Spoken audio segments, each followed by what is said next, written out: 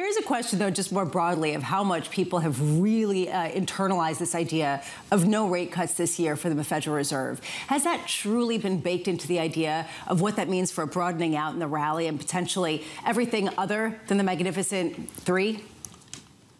Yeah, it's no longer seven, right?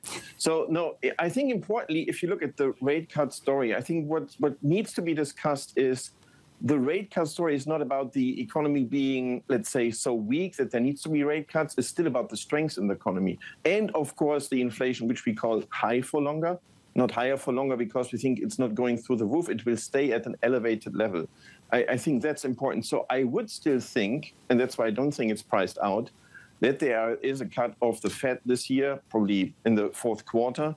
And I do think, and I think it's really priced in the markets, well, that the ECB will cut in June. And then let's see, probably every quarter they will cut.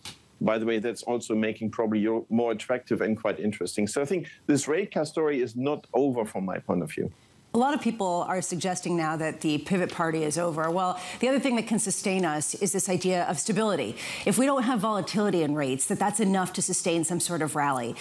Do you buy that, or do you think that if we have stability at these levels, that's going to really change a lot of theses that are just hinged on this idea that the rate cut will come? I think what we really watch very closely is the real rates. For example, if you look at the 10 years, now 225 in the US. I think whenever this is moving faster, then the equity market also gets, say, a bit nervous and volatility is rising.